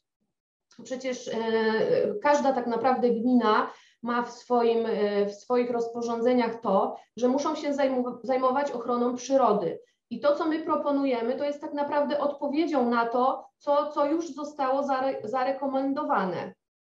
Mm, ale y, y, z doświadczenia wiem, czego tak naprawdę boją się urzędnicy, jeśli chodzi o wprowadzanie takich kwietnych łąk, zaprzestania koszenia, czy, czy jakby troszeczkę innego podejścia do koszenia tych trawników i terenów zieleni, to oni mają obawy przed mieszkańcami. Przed tym, że jeśli zmienią e, coś, co już jest stałe i do czego ludzie są przyzwyczajeni, no to przyjdą i będą mieli po prostu do nich o to pretensje. I tutaj jest nasza rola, e, właśnie organizacji pozarządowych, organizacji proprzyrodniczych, żeby wspierać ich w tym, że my jesteśmy od części y, przyrodniczej. My jesteśmy specjalistami, przyrodnikami, zajmiemy się tą sprawą, wyedukujemy społeczeństwo po to, żeby nie było zgrzytów, że jedna strona, czyli urząd chce coś zrobić, a mieszkańcy nie za bardzo wiedzą, po co to jest i, i, i tak naprawdę czują jakieś zagrożenie z tego, y, z tego powodu. No i tutaj oczywiście jest zawsze kwestia edukacji i do, docierania do jak największej y, liczby odbiorców. Poproszę następny slajd. Y, no właśnie, mieszkańcy. To jest, to jest tak naprawdę bardzo duża i zróżnicowana grupa, ale do nich można trafić tak naprawdę w bardzo, bardzo wielu różnych działaniach, proponując im różne działania. A dlaczego należy do nich trafiać? E, ponieważ mieszkańcy, mając swoje ogródki, czy te, czy te przydomowe, czy ogródki działkowe, czy nawet balkony, tak naprawdę w sieci takiej gminy tworzą takie korytarze. Te zielone tereny tworzą korytarze. Więc jeśli każdy zrobi małą rzecz, chociażby zostawiając tą nieskoszoną koniczynę, to w ogóle, patrząc na przestrzeń takiej gminy, to będzie wystarczające to będzie dobre, ponieważ e, te działania nie mogą mm, w takiej gminie skupiać się tylko na jednym parku. Żeby przyroda funkcjonowała, muszą być te korytarze ekologiczne zachowane, te pszczoły muszą się rozprzestrzeniać, więc te nasadzenia e, roślin e, muszą być w różnych miejscach. Do mieszkańców z doświadczenia wiem, można trafiać naprawdę z różnymi działaniami. Oni są zainspirowani, często y, otwarci na, na różne działania. I tutaj mamy, y, myślę, mm, żeby nie skupiać się tylko i wyłącznie na samych pszczołach, ale wyjść od kwiatów. E, jakoś tak łatwiej y, trafia ten temat, że ludzie lubią kwiaty, lubią zajmować się kwiatami, lubią je sadzić, a natomiast później zacząć mówić o tym, że te kwiaty tak naprawdę nie powstały dla nas. E, nie, nie powstały, żeby cieszyć nasze oko, to jest jakby y, mm, wartość dodana, ale kwiaty powstały dla pszczół.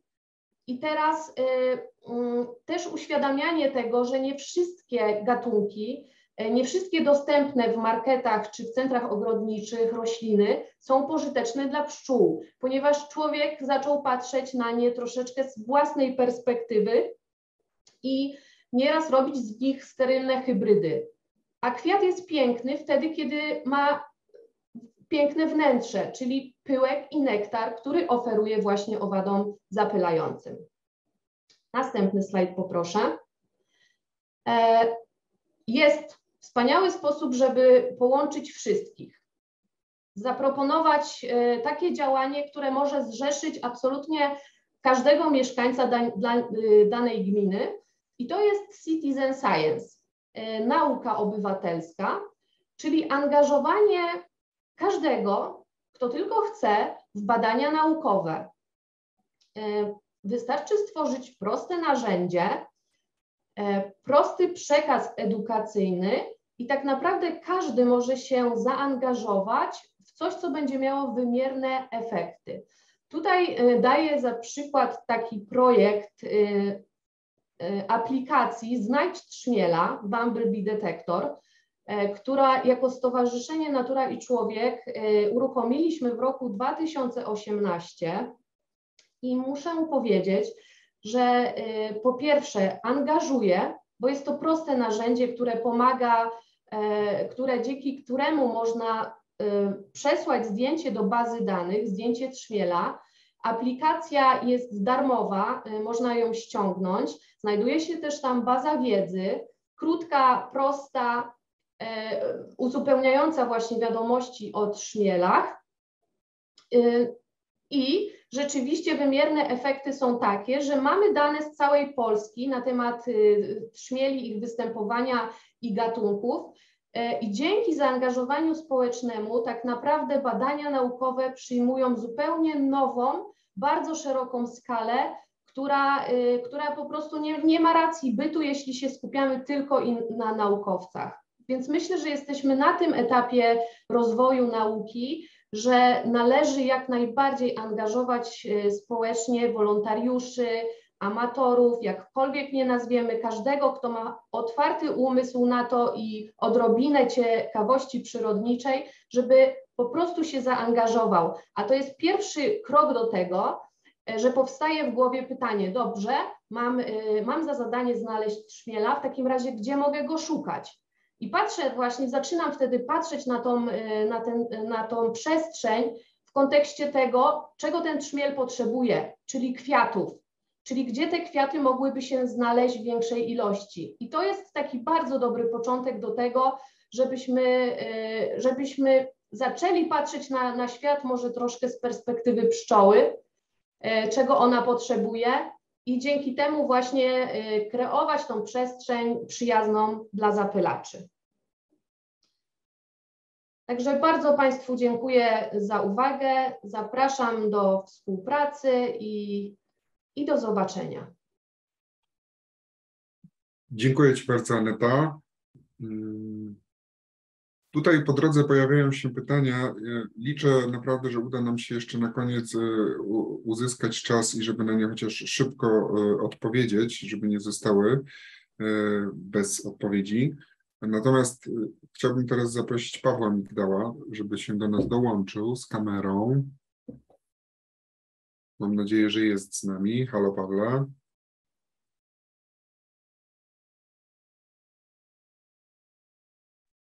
Tak, jestem. O. Czy my Cię jestem, już widzimy? Jestem. Jeszcze Cię nie widzimy. Okay, już zaraz będziecie mnie widzieć. O, czekam chwilkę. Teraz się mnie widzicie, czy nie? No. O, tak. już powinno być git, bo to czasem coś tutaj nie ogarnia. Mam nadzieję, że dobrze mnie widać i słychać. Pawle, czy udostępnisz prezentację od siebie? Y, mogę to zrobić. Nie ma problemu najmniejszego. Korzystasz z tej wersji tłumaczeniowej, którą Ci wysłałem, tak? Tak jest, oczywiście, że tak. Y, czy widać mi prezentację? Tak, jeszcze tylko daję na pełny ekran. Tak, tak, tak, już daję. Wszystko jest dobrze? Super. Okej, okay, no i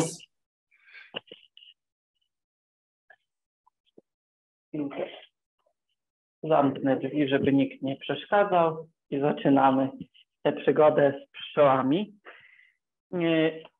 Dzień dobry Państwu, nazywam się Paweł Migdał, jestem z Uniwersytetu Przyrodniczego we Wrocławiu.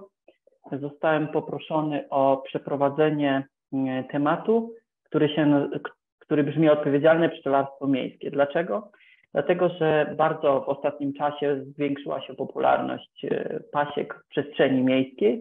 No i bardzo często te pasieki miejskie stawiają pewne wyzwania bo przed zapylaczami już tam występującymi. No i dodatkowo bardzo często nie do końca wiemy, jak ta pasieka powinna wyglądać, jak powinna zostać skonstruowana i od czego powinniśmy zacząć w ogóle konstruując taką pasiekę w przestrzeni miejskiej. Więc ja Państwu postaram się to nieco y, przybliżyć. Y, dlaczego w ogóle na początku powiedzmy sobie, dlaczego w ogóle w przestrzeni miejskiej pojawiły się pasieki? To jest tylko jakiś tam przykład, ponieważ e, jest potrzeba edukacji. E, społeczeństwo zwraca uwagę na zapylacze. W, ostatni, w ostatnim mm, czasie coraz mocniej, coraz więcej osób jest zainteresowanych tym, tym zagadnieniem. Więc pojawiły się pasieki, które mają pokazać społeczeństwu, że pszczoła nie jest jakimś e, dramatycznym, krwiożerczym zwierzęciem, które próbuje rzucić się na człowieka i wy, zrobić mu krzywdę. Zwrócenie uwagi społeczeństwa też na zapylacze.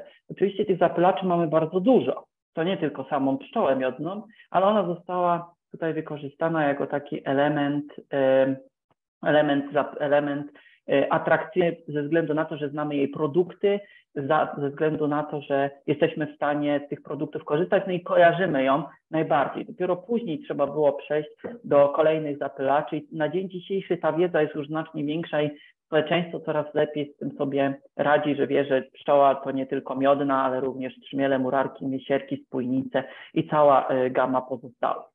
E, wykorzystanie też potencjału miejskiego. Przez długie lata był zakaz e, na terenie naszego kraju utrzymywania rodzin pszczelich w przestrzeni miejskiej.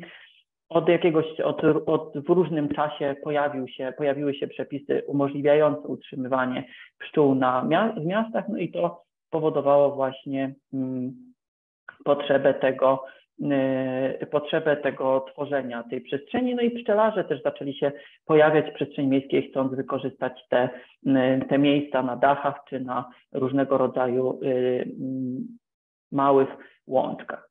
No i to są też działania trochę promocyjne, czy takie mm, pokazujące naszą dobrą twarz, jeżeli chodzi o instytucje, no bo pokazujemy te pszczoły i możemy powiedzieć, że my niejako my przyczyniamy się do tych działań proekologicznych. Bardzo często przy okazji y, spotkania już na temat samej pasieki wychodzi na to, że to dopiero wtedy pojawia się taka konsultacja, w której mówimy i przedstawiamy przedsiębiorstwu, jak, jak będzie wyglądała ta y, pasieka i oni wtedy zaczynają rozumieć, że ten problem jest bardziej złożony, że nie tylko postawimy pszczoły, one będą sobie na tym dachu stały, będą miały wiadro i do tego wiadra będą miód ładowały, a my będziemy go tylko sobie brali i będzie super. Później pszczoły nam rozleją to do słoików i omeckują, będzie odlotowo. Okazuje się, że wcale pszczoły nie chcą tak robić y, i trzeba trochę więcej pracy włożyć. I w wielu przypadkach okazuje się, że y, instytucje są tym zaskoczone. No i stąd taki pomysł, żeby zacząć mówić o takim powiedzialnym pszczelarstwie miejskim. Poproszę, no coś tutaj slajd nie przeskakuje. O. Jak miasta się zmieniają? Tutaj już e, moja przedmówczyni o tym trochę wspomniała. Pojawiają się różnego rodzaju przestrzenie przyjazne zapylaczom. Ograniczane jest koszenie trawników, pozostawianie liści czy spróchniałych konarów drzew po to, żeby te owady miały gdzie gniazdować, żeby miały gdzie e, z czego czerpać materiał do budowy gniazd.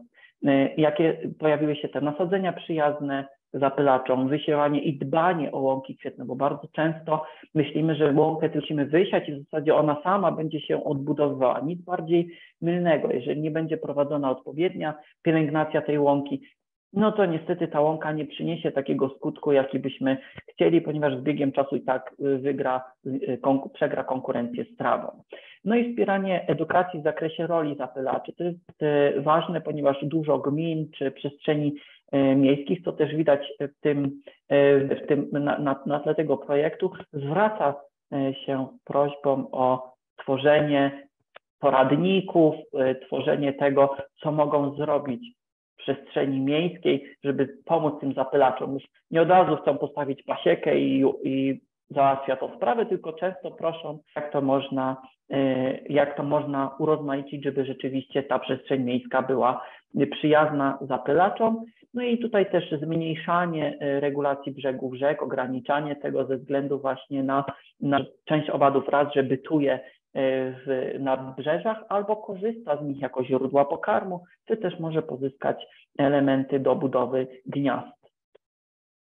No i no ale tak naprawdę, biorąc pod uwagę, że mamy inne zapylacze w mieście, to stawianie pasieki musi musi być od, na tym się też skupić. Nie możemy postawić, postawiać pasieki e, bez najmniejszego, bez brania pod uwagę tego, czy e, my nie wpłyniemy negatywnie na już istniejącą populację zapylaczy.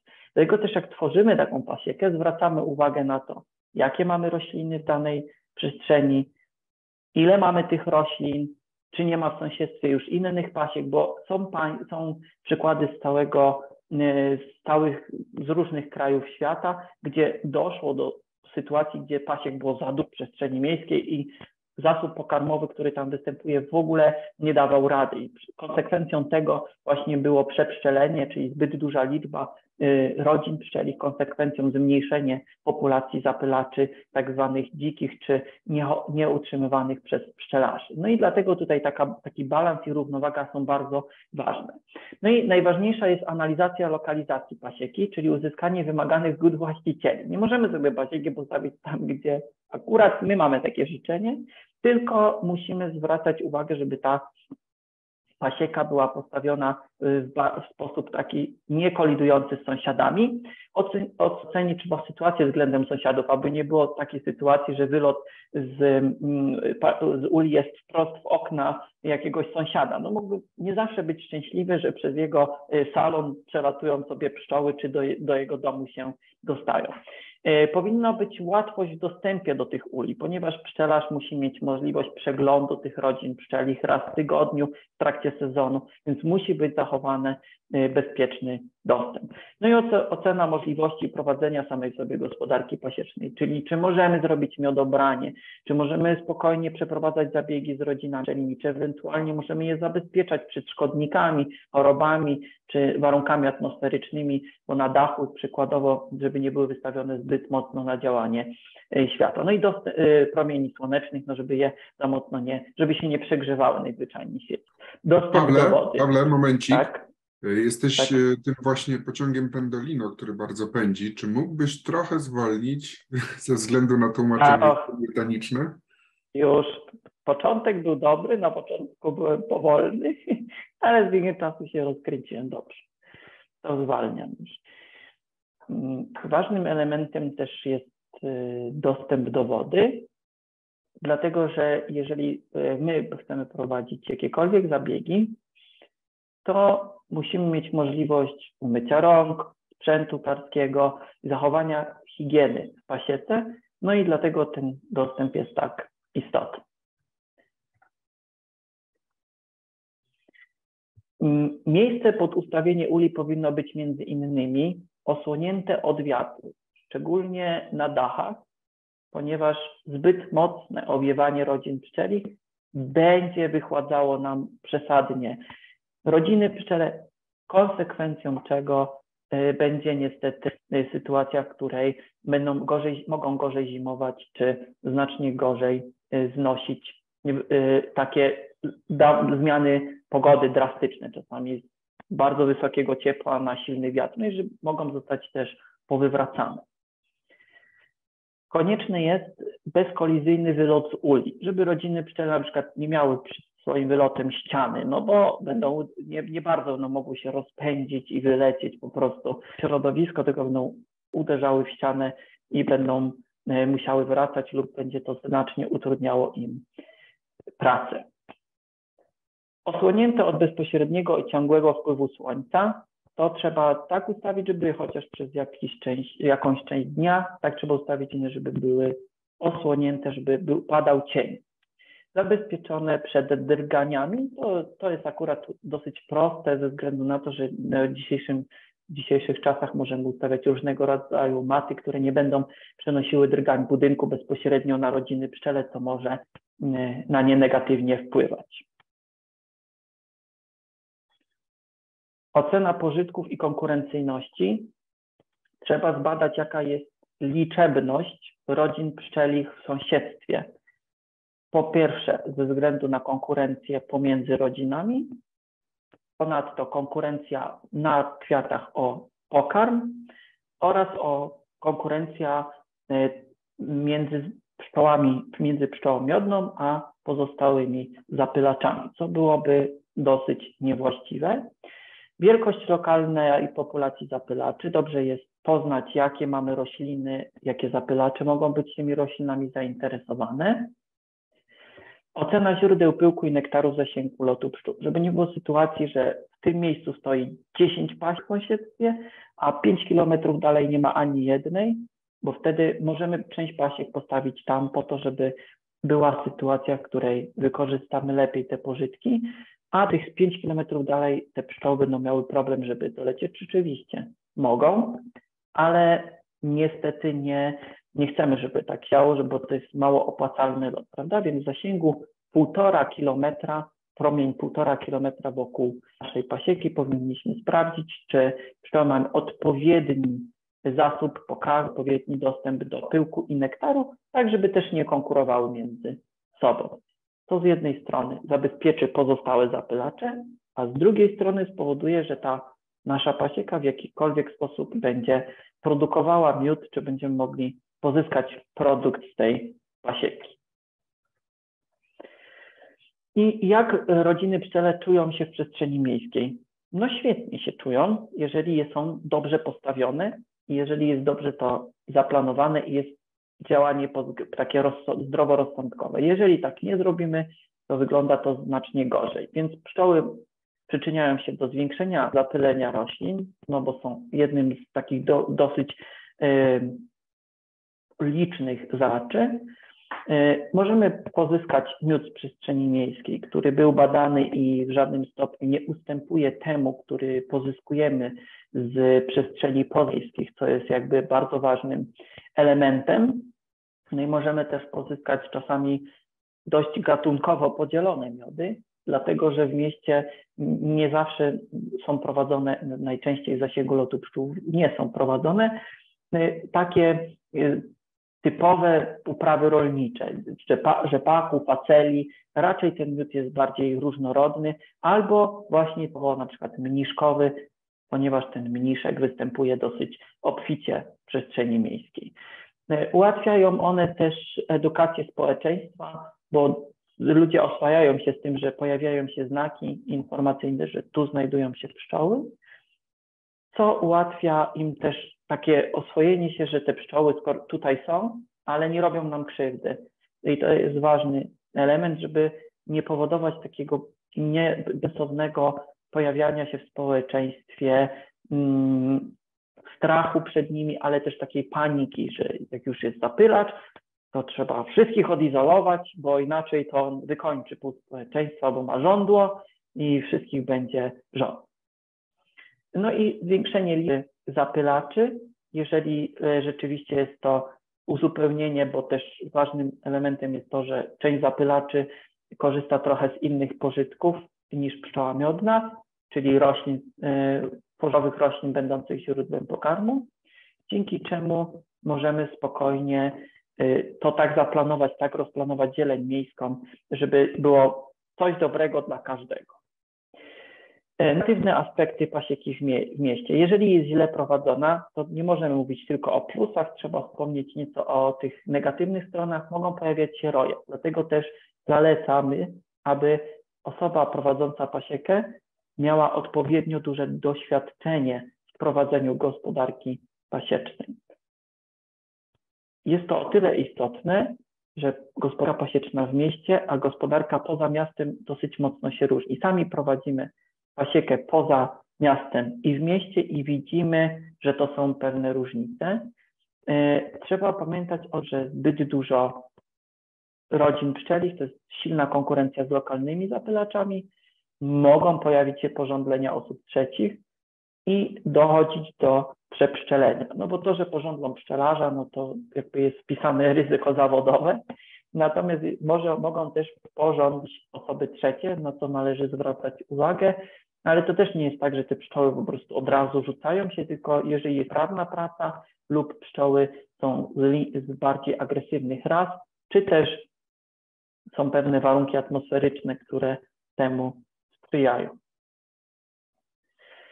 Jeżeli prowadzimy gospodarkę, to w przestrzeni miejskiej powinniśmy dobierać pszczoły o, z linii o, o małej skłonności do rojenia się, czyli naturalnego podziału i są takie linie, czy te najbardziej łagodne, często kosztem ich wydajności, czyli w przestrzeni miejskiej z założenia nie nastawiamy się na wysoką wydajność. Te pszczoły będą produkowały miód, no bo taka, tak, tak, są, tak to jest zaprojektowane, ale nie, nie nastawiamy się na to, żeby tej miodu uzyskiwać bardzo duże ilości, czyli nie idziemy na rekordy, tylko staramy się, żeby to było takie zrównoważone, bo, bo podstawową rolą tej, rolą gospodarki pasiecznej miejskiej nie jest tylko produkcja miodu, a y, dostarczenie dodatkowych zapylaczy i wybieramy też rodziny y, o matki pszczele średnioplenne, żeby te rodziny się nie rozrastały przesadnie w przestrzeni miejskiej, co mogłoby negatywnie wpłynąć na y, taki na, na, na, opanowanie tych rodzin, prawda? Czyli mogłoby jest większe ryzyko wyrojenia się, wtedy te rodziny szybko się rozrastają. Prowadzenie gospodarki, ograniczanie wielkości rodzin pszczelich, czyli jak już widzimy, że rodziny się zbyt mocno rozrosły, należy samodzielnie przeprowadzić oddzielenie częściowo rodziny, czyli zrobienie tak zwanego odkładu, regularna wymiana matek pszczelich, czyli trzeba zamieniać te matki tak, żeby y, zawsze były matki młode, które y, lepiej panują, lepiej panują nad rodziną pszczelą, czyli łatwiej jest panować nad ich y, nastrojem rojowym pszczelarzowi, robienie wszystkiego, żeby jeszcze bardziej zapobiegać nastrojowi rojowemu, żeby te rodziny pszczele nie tak samodzielnie się przez przestrzeń miejską nie przemieszczały, żeby nie było sytuacji, w której ktoś będzie sobie chciał przez przejście dla pieszych przejść, a tam grój pszczół blokuje przejście, czy na rowerze miejskim próbuje się przedostać na drugą stronę miasta, bo one będą lądowały w różnych lokalizacjach i w różnych, różnych miejscach. Rój po prostu musi mieć miejsce, do którego może się najzwyczajniej w świecie yy, przyczepić. Yy, przede wszystkim, jak już tak chcemy na to, to wszystko razem yy, spiąć, to najważniejsza jest rozwaga przy wyborze lokalizacji. Nie wszędzie mogą być postawione ule, nie wszędzie mogą znajdować się rodziny pszczele, nie wszędzie jest to, nie, nie, nie każda przestrzeń temu sprzyja. Dobrze jest, bo wiadomo, że sami często nie możemy mm, przeprowadzić, mm, sami nie możemy często przeprowadzić tej całej oceny, analizy, to fajnie jest skonsultować się ze specjalistami, czy skorzystać z materiałów przygotowanych w, w ramach projektów do, mówiących, jak to zrobić dobrze, jak przeprowadzić te zabiegi w taki sposób, żeby ta, ta pasieka przyniosła zysk dla miasta, a nie stała się jakimś czynnikiem negatywnie wpływającym na przestrzeń miejską, czy na całe, e, e, całą edukację, bo będą na przykład dosyć pszczoły rojliwe, czy nie będą mm, agresywne, a może będą na przykład nie nadawały się do przestrzeni miejskiej, bo będą źle znosiły warunki takie miejskie.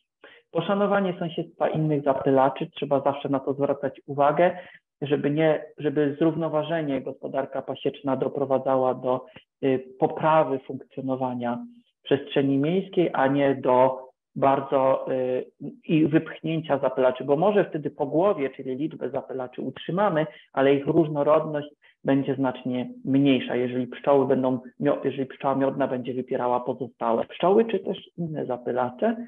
No i bardzo, bardzo ważnym i kluczowym elementem jest doświadczenie opieki, opiekuna pasieki.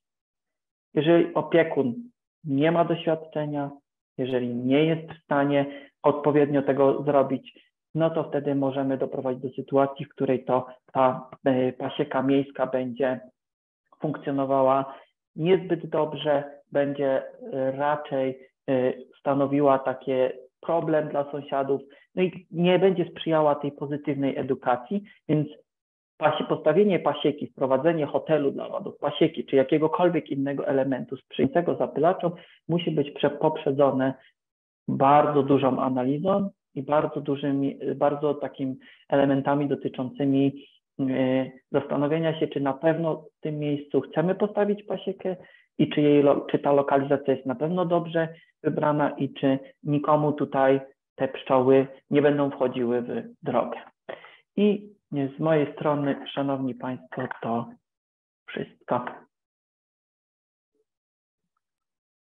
Dziękuję Ci bardzo, Pawle.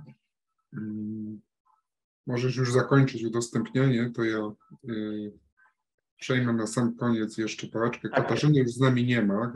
Kasia jest dzisiaj w Brukseli i poszła zajmować się brukselsko-unijnymi sprawami, ale Was serdecznie pozdrawiam. E, ja zauważyłem, że w międzyczasie odbywała się intensywna dyskusja na czacie. Niektóre z tych pytań mm, e, zyskały swoją odpowiedź, a nawet, czego się nie spodziewałem, zostały przetłumaczone przez tłumaczki. Aneta wrzuciła zdjęcie też e, słupa glinianego i mm, tego dotyczy, to jest odpowiedzią na to wcześniejsze pytanie. Ja natomiast jeszcze chciałem się zapytać, bo jedna osoba zgłosiła się, e, że chciała zabrać głos z naszych uczestników. E, pan Hans-Dieter Engelmann. Ja w tym momencie e, uruchomiłem taką możliwość. Sprawdzę, czy pan. Mhm. Nie wiem, czy pan Engelman jest jeszcze z nami, bo to pojawiło się to wcześniej. Jeśli tak, to to jest taka opcja teraz. Jesteśmy troszkę po czasie, bardzo przepraszam. To trzeba oczywiście uruchomić sobie mikrofon, jeśli już.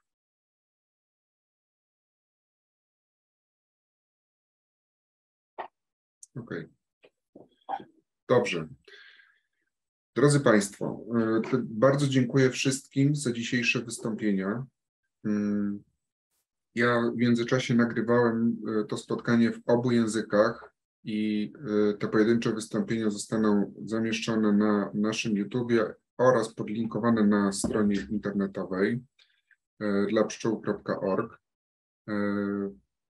Serdecznie dziękuję naszym partnerom z Niemiec i partnerom z Polski, Fundacji Zielona Akcja i Wam wszystkim Państwu za bardzo aktywny udział, za obecność dzisiaj. Dziękuję Państwu bardzo.